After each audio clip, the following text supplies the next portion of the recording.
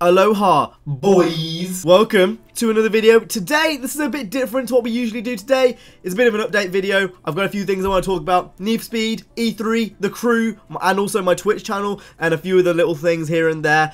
I just wanted to make a big rant, a, a I just wanted to make a bit of a ramble vlog because I haven't done one of these in absolutely ages. It feels like it's been a long time where I've just sat down and just talked just to a camera, talking about the channel, how things are going, where I want to go in the future, and ask for feedback because obviously feedback is very important for where my channel is going to go. And because I upload every day, you know, even more important. All you fucking birds making noise in the background.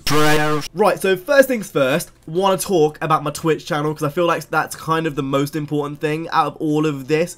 I've been going hard with it recently. Like, like really, really hard. Yeah, I've been going hard with it. I've been streaming a few times a week. I've got a lot of spare time recently, so, you know, after I make my video for the day, I usually get onto Twitch, and I just stream literally anything. The other day, we were streaming a bit of Rainbow Six Siege. It's um, a tactical shooter, really, really fun shooter. Would recommend if you are into FPSs. Then we streamed a bit of Horizon a bit later. My Twitch channel is one of those places where I literally will do anything. Uh, it doesn't really bother me, well, like, in terms of game, obviously. Um, I will go from from Kingdom Hearts over to Rainbow Six, over to Halo, over to Forza. Like, it's one of those things, it's not really just racing games over there, I do pretty much anything. And it's something I've been pushing quite hard recently, so if you do enjoy live streams and you do enjoy Twitch, make sure to go over there. Um, I've got loads of streams already up on there, so previous streams which you can watch. So if you are interested and that, you know, tickles your fancy, because I know a lot of you guys do enjoy streaming and streamers and that kind of thing, I'll go ahead and put the link down in the description. As I always do to all my other social medias as well.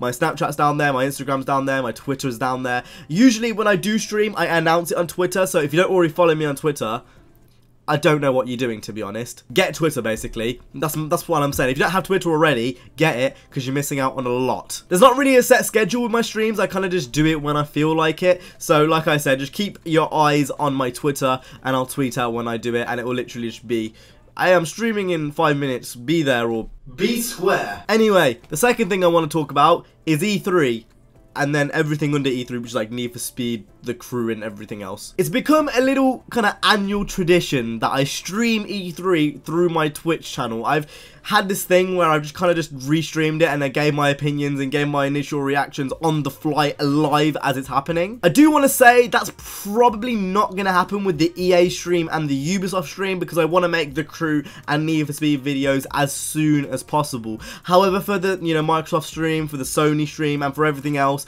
I'm probably going to stream that on Twitch. Now, I don't know how I'm doing it yet. I think I might be doing it with the Drivecast lot. So, you know, that's Jay, CJ, Niner, etc. and a few of the friends we have. Um, so if you are interested in that kind of thing and you've come to previous streams where we streamed, you know, E3 live, um, you can go ahead, again, Twitch down in the description. That's where we're going to do that. And, you know, E3 as a whole is going to be a hectic time on the channel. You know, with Need for Speed and the crew and all those other games, Gran Turismo coming out, I'm really, really looking excited to it, and I know for sure there's going to be a lot of games which I want to cover on the channel. So just keep your eye on the channel. Upload times may vary. I kind of, I'm probably going to do it as soon as news is available. Then I'll upload it instead of waiting till nine o'clock like I usually do. I usually wait till nine o'clock my time. I think because obviously E3 and news is so important around this time, I'm probably just going to upload it as soon as I have the information. So especially with Need for Speed coming up soon, June the second, we're going to get some type of teaser, and I reckon they're going to give us something as well, you know, at some point during the next week. Um, yeah, just keep your eyes on the channel, keep your eyes peeled, because if for Speed news comes out early, then obviously I want to be there first, and that'll, that'll mean uploading it before 9 o'clock. I do think we're going to get more than just a teaser this week.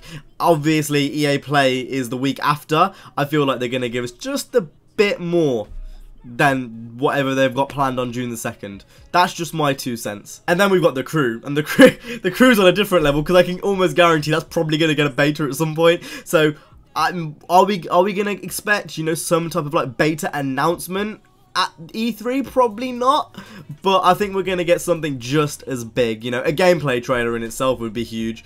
I don't know. I don't even know what I'm saying anymore.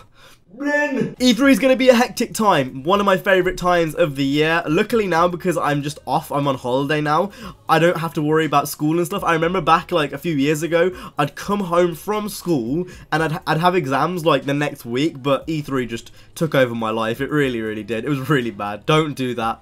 Kids. Now also, that's not the only trailer I want to talk about. It's been a while since I've just kind of just been, been on the camera and just talked about the channel and how things are going. I want to ask you guys a few questions and I would like serious answers in the comments um, about what you think the channel's like at the moment. What's your favourite series? What's your least favourite series? Um, you know, just what's your favourite and least favourite things about the channel and what would you like to see change? Um, and feedback is very important to me, always has been. Um, so if you do have any, you know, problems with the channel, or like not problems, but anything you would like to see change, or anything you would like to see improved, please let me know in the comment section down below. This is the best time for, you know, for me to be get for me to improve my content, and the only way I can really do that is through you guys and knowing what I want to do. I'm thinking about dropping the initial D Let's Play because it doesn't seem to be doing that strong in comparison to something else I could be doing. So depending on how that does in the next few episodes, I possibly could drop it. Again, just let me know what you think in the comment section down below. Not just with that series, but the channel as a whole. Stick and twist, you know, all the little gameplay, old retro gameplay things I've been doing recently.